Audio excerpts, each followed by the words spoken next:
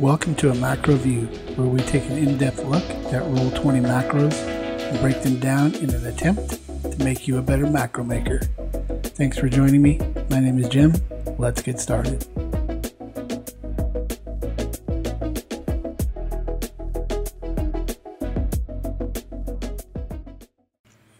Hey everybody, welcome to the channel. This video is about the advantages of a DM using macros. Um, as a DM, I use um, all of the macros that you can see up here if you click on a character. Aru, all of these macros up on the top, these buttons, are macros that I've created, and I refer to them as, I guess, global in that they all, all the characters use the same macro. So I'm able to create a macro and then all the players see it. And so they don't have to have that same individual macro. I'll have to create it once. When I edit it, they get all the changes and everything. So um, these are the ones we use. We use a critical and fumble chart uh, as opposed to the crit and fumble rules. Uh, we have a direction chart, just gives you a random direction. If you come over here, it's west, right?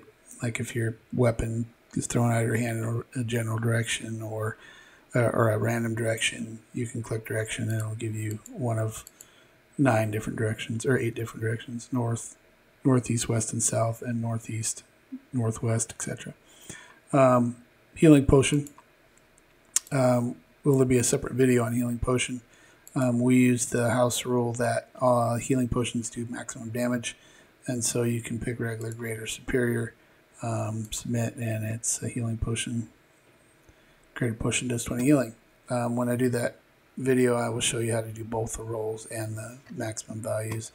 Initiative, if the tracker's open, let me remove. So you can click on the character. So Aru, he clicks initiative, puts him on it on the initiative order. Now, one of the greatest things that this allows you to do is that if someone is gone for some reason for a night, so so we'll run with four people, we won't run with three or less, um, and then one of the other players has to play the person that's missing, and so if they're gone, um, and let's say Skiki is playing Aru, he can click on Aru and run any of these things for Aru. So he can do a skill check for Aru, he can do a saving throw for Aru, he can do initiative for Aru.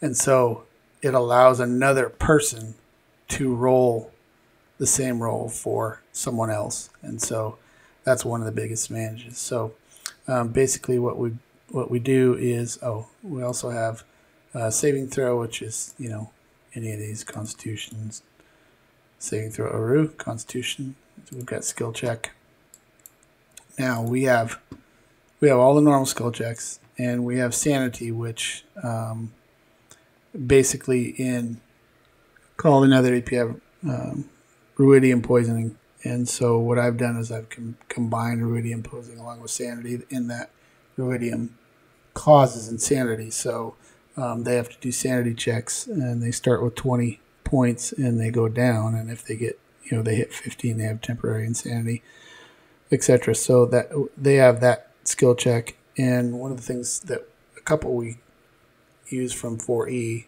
in particular is I like the streetwise skill in, in determining values. And streetwise skill uses, I think, intelligence and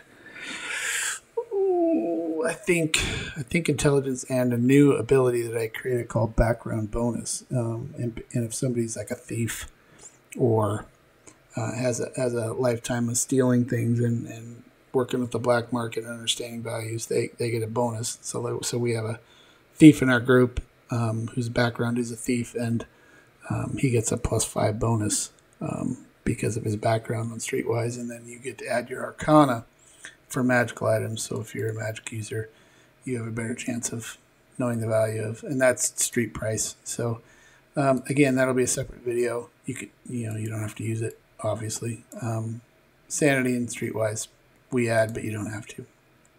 And then if you run, you know, whatever. Um, you know, persuasion.